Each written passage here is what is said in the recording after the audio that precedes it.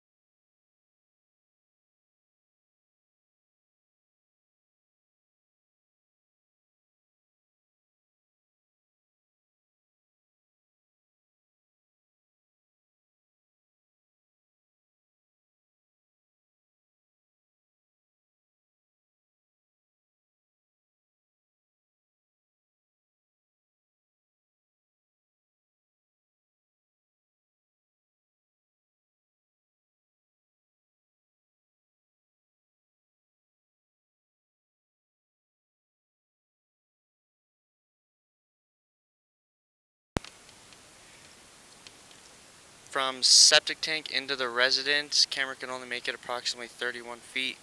Everything up to this 31 feet is all Schedule 40 PVC with no major issues found during the time of inspection.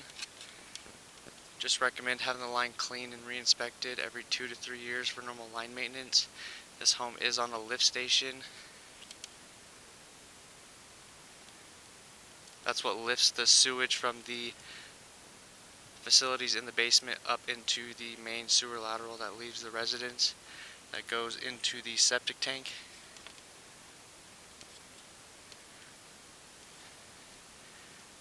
Not being able to make it to the lift station is very common for sewer scopes, but everything up to this 31 feet right here again is all Schedule 40 PVC with no major issues found during the time of inspection.